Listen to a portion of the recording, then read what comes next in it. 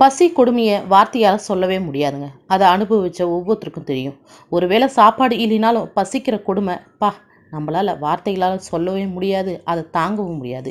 இங்கேயும் ஒரு பெரியவர் வெயிலில் நிற்க முடியாமல் யாரோ ஒருத்தவங்க சாப்பாடு கொடுத்து ஹெல்ப் பண்ணுறாங்க ஆனால் அதை அவருக்கு முன்னாடி இருக்கிறவங்களுக்கு கொடுத்து ஹெல்ப் பண்ணுறாங்க அந்த பெரியவரின் பசிக்கான தவிப்பை இந்த வீடியோவில் பார்க்கலாம்.